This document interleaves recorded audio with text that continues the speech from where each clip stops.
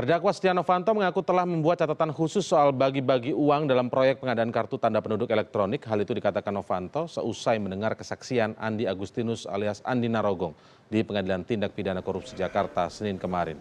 Dalam persidangan yang digelar di Pengadilan Tipikor Jakarta Senin kemarin, Novanto membantah tentang penerimaan jam tangan Richard Mile hingga perannya menagih fee kepada para vendor proyek. Namun Novanto mengaku telah mengantongi nama-nama para anggota dewan yang ikut menikmati duit korupsi KTP elektronik.